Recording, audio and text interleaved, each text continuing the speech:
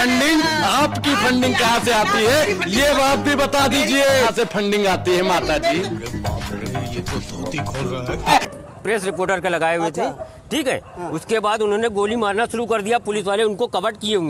दोस्तों फिर से एक बार आस्था माँ के ऊपर वीडियो लेके आ चुका हूँ जो आस्था माँ हमेशा कहता है कि अनुराग को मेरे सामने लेके आओ जूती से मारूँगा। ऐसे ऐसे थप्पड़ मारूँगा लेकिन आज अनुराग भाई उसके सामने आ चुके हैं और आस्था माँ का हवा निकल गई है। तो वीडियो को आखिर तक ज़रूर देखिएगा। में किसमें?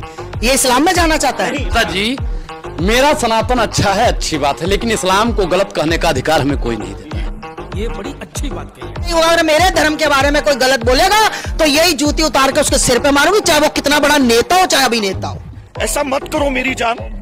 लाइफ में कुछ अच्छा करो यार। ए माता जी तो आप ये जुतियाँ निकाल के प्रधानमंत्री मोदी जी को मारिए क्योंकि उन्होंने कहा हिंदू कोई धर्म नहीं है। भाइयों बहनों मित्रों प्रधानमंत्री प्रधानमंत्री मैं किस प्रधानमंत्री कौन सा प्रधानमंत्री प्रधानमंत्री मैं किस प्रधानमंत्री कौन सा प्रधानमंत्री में? ये फंस गया सी ये फंस गया सी। आप मुगलों को मानते हो या नहीं? संविधान जब पढ़ोगे ना तो तबाह होते हुए तबाही नहीं दिखती और ये अंधभक्ति है महाराज इसकी कोनो दवाई नहीं बिकती। क्या क्या क्या? सच्चाई का अगर मोदी जी साथ दे रहे होंगे तो भैया अडानी पे जाँच काहे नहीं हो रही है? ये बात पूछता है भारत और ऐसे लोगों पे फूकता है भारत। शाबाश बेटा। अरे माता जी आप मुझे पंजे से मारो या फंदे से मारो अनुराग की आवाज़ बंद होने वाली नहीं है। तो हमारे पूर्वज गोरे अंग्रेज़ों से नहीं डरे तो इन अंग्रेज़ों से थोड़ी हाँ, डरे तो- सरकारी हिंदू नहीं हम सनातनी हिंदू सरकारी हिंदू कौन है? सरकारी हिंदू वही भारतीय जनता पार्टी मोदी मोदी मोदी मोदी मोदी मोदी। अच्छा जी, आपकी फंडिंग आपकी फंडिंग कहाँ से आती है? ये बात भी बता दीजिए। कहाँ से फंडिंग आती है माता जी अरे बाप रे ये तो धोती खोल रहा है। मुझे लगता है माता जी को भी वॉशिंग मशीन में इनके दिमाग को धो दिया गया है। दोस्तों, इसके साथ साथ आपको बता दूँ कि कल जो है आतिक अहमद और उसके भाई अशरफ को पुलिस के सामने हत्या कर दी गई। तो वहाँ पर जो स्थानीय लोग हैं, उनका कहना है कि जो लोग आतिक को शूट करा, वो पुलिस की गाड़ी से ही लाया गया था और उनके गले पर आई कार्ड भी थे। तो देखिए क्या कह रही है वहाँ के लोग। चाय की दुकान पर मैं खड़ा था यहाँ पर पुलिस वाले पहले आए हैं और पुलिस वालों ने पहले सबको हटाया है और गाड़ी सब हटा के यहाँ से रास्ता साफ़ किया है। साफ़ करने के बाद जो है दो गाड़ी इधर से आई है और दो गाड़ी उधर से आई जिससे वो और अतीक आए हुए हैं और उसमें से चार लड़के निकले हैं। चार लड़कों को अंदर गेट के अंदर ले गए हैं वहाँ से जैसे ही अशरफ को गेट से निकाल के और अतीक को अंदर ले गए हैं वो वैसे ही थोड़ा थोड़ा थोड़ा सा गोली चलने लगी चार लड़के पैदल थे? नहीं गाड़ी से आए थे। गाड़ी से आए थे। गाड़ी से आए थे शादी वर्दी में अच्छा, शादी वर्दी में उतरो शादी वर्दी में हाँ। मतलब क्या लग रहा है पुलिस की गाड़ी से उतरे एक मिनट पुलिस की गाड़ी से उतरे आई कार्ड प्रेस रिपोर्टर के लगाए हुए थे। ठीक है? उसके बाद उन्होंने गोली मारना शुरू कर दिया पुलिस वाले उनको कवर किए हुए हैं। जब धड़ा धड़ा धड़ा धड़ा गोली सात राउंड गोली चली है। सात राउंड गोली चलने के बाद जो है उसके बाद जब अशरफ और वो अतीक गिर गए तो पुलिस वाले भाग गए जबकि उनको उठाना चाहिए और उसको पकड़ना चाहिए। वो का नारा लगा के मार रहा गोली धड़ा धड़ा धड़ा अब पुलिस हाँ जो गोली मार रहे थे जो पुलिस वालों के साथ उतरे हुए थे वो नारा लगा के गोली मार रहे थे। मतलब चारों को पुलिस वाले ले जाकर गाड़ी में बैठे। रुक जाए जीप में लेके गए। एक मिनट चारों को ले चारों को पुलिस लेकर जीप में लेकर तुरंत कोलो दाब क्या दिया लगता है ये पुलिस ने किया? पुलिस ने थाना भी उसमें पूरी खाली करा रहे थे यहाँ पर। स्टीफ ने किया ये। क्या कहते हैं? ये जो लोगों की रिकॉर्डिंग हो रही है अब इनमें सभी लोगों को उठाया जाएगा। ये बता दो कि पाकिस्तानी है जनता को प्रयागराज की जनता को जो डराना चाहते हैं प्रयागराज की जनता नहीं है नहीं? तो दोस्तों इसी के साथ साथ आपको बता दूँ कि आतिक अहमद और अशरफ अहमद को हत्या के कुछ देर बाद वहाँ पर दो महिला पहुँचे थे। मीडिया जब उन दो महिला से कहता है कि आप लोग कौन हैं और क्या लगते हो आतिक के तो ये महिला पड़ोसी बताते हैं। आइए देखते हैं और क्या कहा है।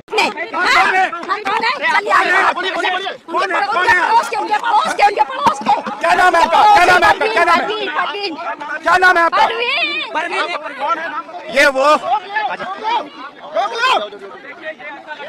ये अतीक अशरफ के कुछ रिलेटिव हैं कुछ जो हैं जानने वाले हैं जो लगातार आप लोग कौन है मैडम? आप लोग कौन है? अच्छा पड़ोसी हैं। पड़ोसी हैं। अच्छा पड़ोसी हैं। यहाँ पे आप देखने आए थे। हाँ बेटा हाँ देखने आए थे हाँ। क्या हुआ? वो हमारी मदद करते थे। आपकी मदद करते थे? मौजूद है मदद हाँ करते थे? हाँ हमारी मदद करते थे। हमारी मदद करते थे। अच्छा। हाँ। तो आप देख पाए क्या उनको? नहीं कहाँ देखने दिया तो क्या किया है? तो क्या क्या लगता है? क्या लगता है? उनको मरवाया गया भाई प्लानिंग के तहत। प्लानिंग के तहत मरवाया गया। पूरी मीडिया पूरी पुलिस पूरा योगी। योगी सब मिले हैं सबकी मिली भगत है। अच्छा आप हाँ। है? आप हाँ, पड़ोसी भैया कोई नहीं ना। आप कौन है मैडम? आप कौन मैडम? अरे, अरे, हटिए। अच्छा। आप क्या कहेंगी पूरी घटना आप कैसे चलो चलो समझ नहीं नहीं, ठीक है। आप आप आप पड़ोसी हैं आप हाँ, आरोपी मानती? कौन लोग कौन आरोपी? बता तो रहे हैं। बाकायदा उनको कैसे टहला बाकायदा से परसों टहलाया जा रहा भैया मारने के लिए मारने के लिए हाँ। कहाँ होगा? इसमें किसका हाथ है? आपके साथ योगी जी का योगी जी का। हाँ उन्हीं का उन्हीं आप कौन है आप क्या लगती है हटेंगे आप लोग प्लीज़ हाथ हो रहे मैडम पूछ ही तो रहे हैं हाथ तो नहीं आप नहीं रोक सके अरे आप आप आप आप, आप इंटरव्यू दे दीजिए आप अगर किसी को हाथ नहीं लगाइए। अरे हाथ हाथ नहीं लगाइए किसी को। हाँ हाथ मत लगाइए। पुलिस ने मरवाया है इसलिए के लोगों ने मारा है। हमने अपनी आँख से देखा है। हम लोगों के सामने मारा है। जी हाँ हम लोग गेट के ऊपर खड़े हुए थे। एसटीएफ के लोग ने मारा गाड़ी में बैठा के लेके चले गए। गाड़ी में लेके चले गए। मुर्दाबाद। जो मुर्दाबाद मुर्दाबाद। हम लोग के सामने मारा है। मुर्दाबाद हुए। पुलिस कचहरी में मार दिया गया। मुर्दाबाद। तरीका है जी हाँ लोग खड़े हुए वहाँ पर। दोस्तों इसके साथ साथ आपको मालूम होगा पुलवामा में जो 40 जवान शहीद हो गए थे तो उनको लेकर जम्मू एंड कश्मीर के एक राज्यपाल सत्यपाल मलिक बड़ा खुलासा किया है। उन्होंने कहा था कि एयरक्राफ्ट से जवानों को ले जाया जाए लेकिन उसकी बात ना तो होम मिनिस्टर ने सुना ना तो रक्षा मंत्री ने सुना और न ही प्राइम मिनिस्टर ने सुना। और जब हमला हो गया तब राज्यपाल सत्यपाल मलिक को चुप रहने को कहा गया। Let me Asking let, for let me tell you the facts. CRPF people ask for aircraft.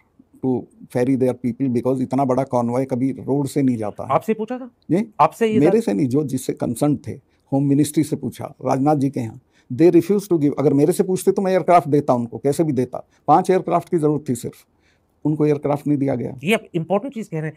Home ministry से इजाज़त मांगी एयरक्राफ्ट के लिए and home ministry refuse to give yes and I told it to the prime minister same evening कि ये हमारी गलती से हुआ है अगर हम एयरक्राफ्ट दे देते तो ये नहीं होता। तो उन्होंने मुझे कहा कि तुम अभी चुप रहो। मतलब प्राइम मिनिस्टर ने कहा कि हमारी गलती के बारे में मैंने उनको कहा कि ये हमारी गलती है। और उन्होंने कहा और मैं ये मैं ये बोल भी चुका था एक दो चैनल को या इसको तो उन्होंने कहा ये सब मत बोलो ये कोई और चीज़ है वो हमें बोलने दो। मैं ठीक है। This is again very important जब आपने प्रधानमंत्री साहब को उसी रात कहा था कि हमारी गलती के कारण हुआ है कि इन्होंने एयरक्राफ्ट मांगे थे आपकी होम मिनिस्ट्री ने इजाज़त नहीं दी और प्राइम मिनिस्टर कहा इसके बारे में चुप रहो। In other words don't let people know we made a mistake Doval ने भी मुझे कहा कि ये मत बोलिए आप चुप रहिए। किसने कहा आपको? डोभाल ने अजीत डोभाल उन्होंने भी कहा। वो मेरे क्लास फेलो रहे हैं तो मेरे से कुछ भी बात कर सकते थे। और उनका सतपाल भाई ये मत कहो। So what you are saying मुझे लग गया था मैं आपसे शेयर कर सकता। हूँ मुझे लग गया था कि अब ये सारा ओनस पाकिस्तान की तरफ़ जाना है तो चुप रहिए। मतलब ये एक तरह की सरकार की चालू पॉलिसी थी कि blame Pakistan exactly and we will get credit and Yes. it will help our election. Exactly But you've said two very important things. जी. The prime minister knew because you had told him ये हमारी गलती के कारण हुआ है. मुझे बिल्कुल याद है he was in National Corbett Park अपना शूटिंग करा रहे थे। वहाँ फ़ोन नहीं होता है वहाँ से बाहर निकल के ढाबे से उन्होंने मुझे फ़ोन किया। सतपाल क्या हुआ? मैं साहब ऐसा ऐसा हुआ मैं तो बहुत दुखी हूँ ये सिर्फ़ हमारी गलती से हुआ। अगर हम एयरक्राफ्ट दे देते तो ये नहीं होता। तो उन्होंने कहा कि इस पर चुप रहिए आप। तो देखा दोस्तों शायद इस मुद्दे से जनता का ध्यान भटकाने के लिए ही आतिक और अशरफ का हत्या किया गया है। ये बात बहुत सारे एक्सपर्ट का कहना है तो इसके बारे में आपका क्या राय है? कॉमेंट करके ज़रूर बताना और ऐसे ही वीडियो को देखने के लिए चैनल को सब्सक्राइब ज़रूर कर लेना।